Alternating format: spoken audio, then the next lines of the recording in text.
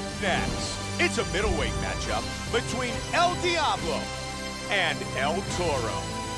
Our tale of the tape for this middleweight fight. El Toro is 12 years his elder. He is one inch taller. He will have a one inch reach advantage. And now with our official introductions, here's Bruce Buffer. Ladies and gentlemen, this fight is three rounds of the UFC middleweight division. Introducing first, fighting out of the blue corner. This man is a jiu-jitsu fighter, making his professional debut here.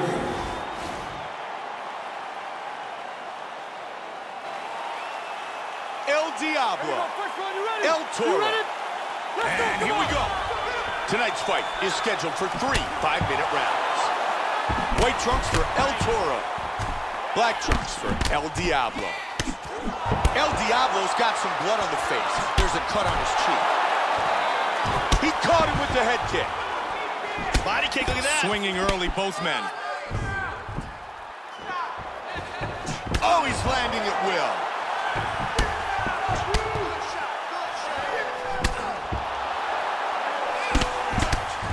Couple of shots. Oh, landed it. Hard kick to the head. Vicious combination. Oh, very nice.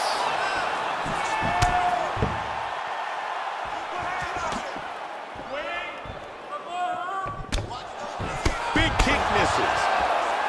He's starting to land those kicks to the body. Joe, you're all over it. The kicks to the body, a true factor in this fight.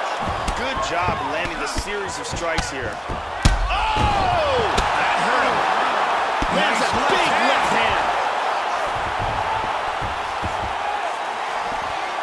that's a heavy body kick. Big combination. Oh! This could be it.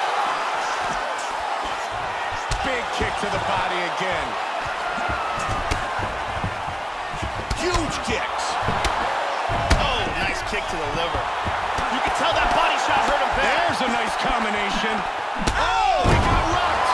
Oh! It is all over. What power that.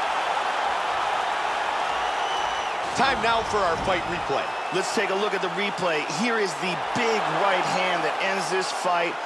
Boom, right on the money. Let's take a look at it again from a different angle. Look at the power in this right hand as it lands picture perfect for the knockout. And here we see it one more time. Look at the timing in this shot. Bruce Buffer has the official decision. Ladies and gentlemen, referee Mario Yamasaki has called a stop to this contest at 2 minutes, 38 seconds of the very first round. Declaring the winner by knockout, El Toro. El Toro, winner by knockout.